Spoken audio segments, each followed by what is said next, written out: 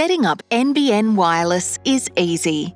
Before you get started, you'll need three things a message from us advising you to plug in your NBN modem, an NBN wireless antenna installed on your roof or gutter, and an NBN connection box.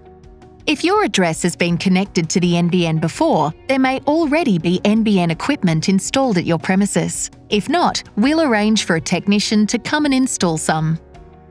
Firstly, find your NBN connection box. This is typically installed near any existing phone sockets. Make sure that your connection box is connected to its own electrical outlet. Next, it's time to plug in your modem.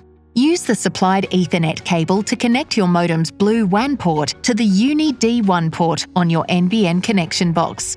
Next, use the supplied power cable to connect the power port to an electrical outlet. Finally, press the modem's on-off button to turn it on. Allow 15 minutes for your modem to boot up and configure automatically.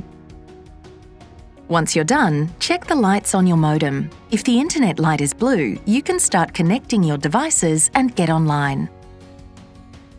You can use additional Ethernet cables to connect devices to any of the four yellow LAN ports on your modem. Otherwise, you can just connect devices via Wi-Fi. You'll find the Wi-Fi name and password on your modem's barcode sticker. Finally, if you have an NBN phone line that you'd like to use, plug a handset into the green phone port on your modem. That's all there is to it.